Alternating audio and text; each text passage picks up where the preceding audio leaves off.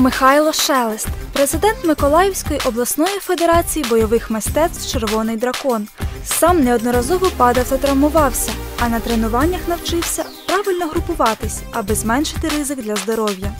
Суть в том, что выставлять руки. У нас все время, ой, сумки упущу, жалко, там какие-то яйца разобью. То есть отпустил сумки, руки вперед. Или там, я не знаю, там неважно, перчатки на вас или что. Руки вперед – это самый главный фактор. Обов'язково зігніть руки в ліктях, інакше ризикуєте зламати зап'ястя або передпліччя.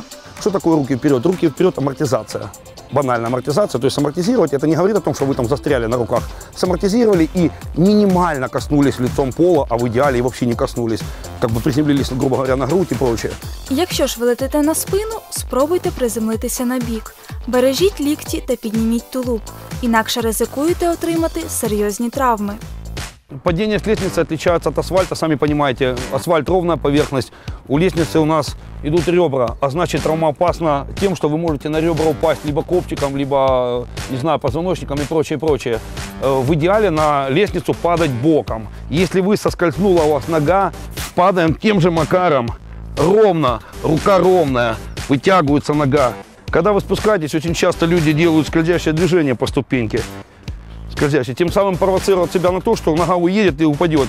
Переносьте вагу на всю стопу, а якщо падіння не уникнути, слід максимально притиснути голову до грудей. Но опять же, при таких падениях у вас должно быть хоть какой-то минимальный уровень физиоподготовки, чтобы вы могли удержать свое тело. Занимайтесь спортом.